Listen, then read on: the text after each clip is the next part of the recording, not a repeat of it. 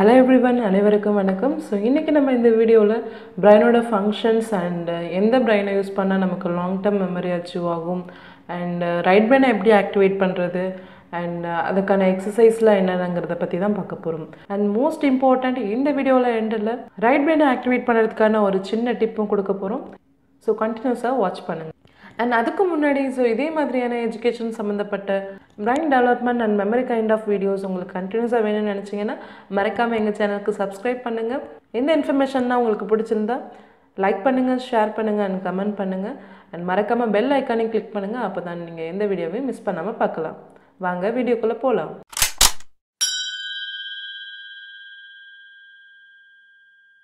So பிரைனில் வந்து two parts இருக்குங்க. One is the left side brain another one is the right side brain அதோட ஃபங்க்ஷன்ஸை பற்றி தெரிஞ்சுக்கிறதுக்கு முன்னாடி நம்ம எந்த பிரைனை அதிகமாக யூஸ் பண்ணிட்டு இருக்கோம்னு பார்க்கலாங்களா ஜென்ரலாக மோஸ்ட் ஆஃப் த பீப்புள் வந்து நம்மளோட லெஃப்ட் சைட் பிரைனை தான் அதிகமாக யூஸ் பண்ணிட்டு இருக்கோங்க compared to right side brain அப்படின்னா நம்ம ரெண்டு சைட் பிரைனுமே யூஸ் பண்ணுறோம் but that percentage of usage வந்து நம்ம லெஃப்ட் சைடுக்கு தாங்க அதிகம். ஸோ இப்போ உங்களுக்கு எல்லாருக்கும் ஒரு கொஷின் அரைஸ் ஆகலாம் ஸோ லெஃப்ட் பிரைனை தான் யூஸ் பண்ணிட்டு இருக்கோம்னு சொல்கிறீங்க ஓகே நாங்கள் லெஃப்ட் பிரைனை யூஸ் பண்ணிட்டு போகிறோம் ஏன் ரைட் பிரைனெல்லாம் ஆக்டிவேட் பண்ணணும்னு சொல்கிறீங்க அதை ஆக்டிவேட் பண்ணதில் அப்படி என்ன பெனிஃபிட்ஸ் கிடச்சிட போகுது?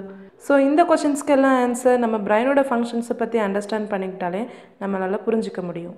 ஸோ லெஃப்ட் சைட் பிரெயினை எடுத்துக்கிட்டிங்கன்னா லாங்குவேஜ் நம்ம பேசுகிறதா இருக்கட்டும் இல்லை ஒரு புக் ரீடிங்காக இருக்கட்டும் நியூஸ் பேப்பர் ரீடிங் இது எல்லாமே உங்களுக்கு ஸ்டோர் ஆகுது நம்மளோட லெஃப்ட் சைட் பிரெயினில் தாங்க. தென் லாஜிக்கல் ரீசனிங் ஸோ லாஜிக்கல்னு சொன்னவொடனே உங்களுக்கு எல்லாருக்குமே ஞாபகம் வந்திருக்கும். ஸோ லாஜிக்கல் திங்கிங் நல்லா இருந்தால் மேக்ஸ் நல்லாவே போடுவாங்க. ஸோ யாரெல்லாம் மேக்ஸ் நல்லா போடுறாங்களோ அவங்களுக்குலாமே லெஃப்ட் பிரெயின் சூப்பராக ஒர்க் ஆகுங்க.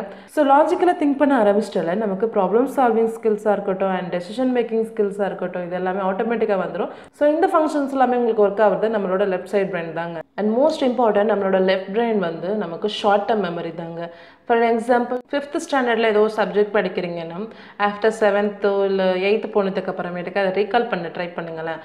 கண்டிப்பாக அதை ரீகால் பண்ணுறதுக்கு கொஞ்சம் கஷ்டம் ஆகும் ஏன்னா அது வந்து உங்களுக்கு ஷார்ட் டேர்ம் மெமரியாக தான் இருக்கும். ஸோ இப்போ வாங்க நம்ம ரைட் சைட் பிரெயினோட ஃபங்க்ஷன்ஸ் எல்லாம் பார்ப்போம். ஃபர்ஸ்ட் ஃபங்க்ஷன் பார்த்தீங்கன்னா க்ரியேட்டிவிட்டி ஸோ யாரெல்லாம் க்ரியேட்டிவாக திங்க் பண்ணுறாங்களோ அவங்க நிறைய இனோவேஷன்ஸ் பண்ணுவாங்க. அண்ட் அவங்களுக்கு நல்லாவே ரைட் பிரெயின் வந்து ஒர்க் ஆகும். தென் பிக்சர்ஸ் அண்ட் சிம்பிள்ஸ் இந்த மாதிரி இமேஜஸ் டைப்பில் உள்ளது எல்லாமே உங்களுக்கு ஸ்டோர் ஆகுது நம்மளோட ரைட் பிரெயினில் தாங்க.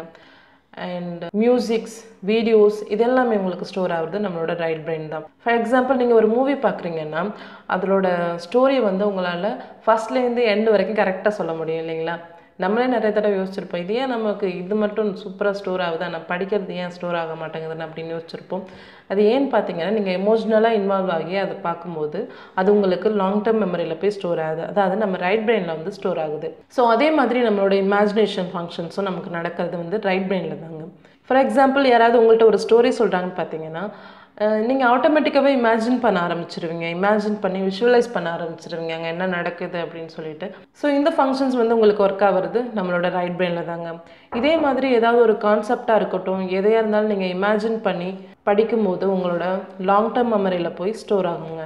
லெஃப்ட் பிரெயின் வந்து உங்களுக்கு short term memory and right brain is long term memory so long term memory right பிரெயினாக இருக்கிறதால ரைட் பிரெயின் மட்டும் யூஸ் பண்ணால் போதுமா? ரைட் பிரெயினை மட்டும் ஆக்டிவேட் பண்ண போதுமா? அப்படின்னு கேட்குறீங்களா கண்டிப்பாக இல்லவே இல்லைங்க.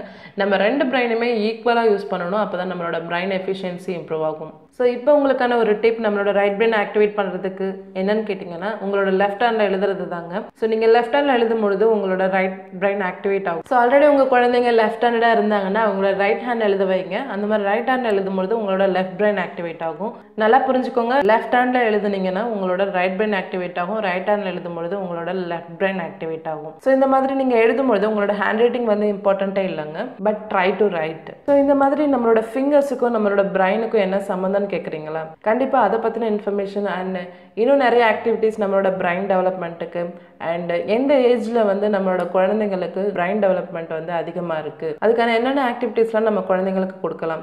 ஸோ அதை பற்றின இன்ஃபர்மேஷனாக நம்ம நெக்ஸ்ட் வீடியோவில் பார்ப்போம். இந்த இன்ஃபர்மேஷன் உங்களுக்கு யூஸ்ஃபுல்லாக இருந்துச்சுன்னா மறக்காமல் சப்ஸ்கிரைப் பண்ணுங்கள் அண்ட் தேங்க்ஸ் ஃபார் வாட்ச்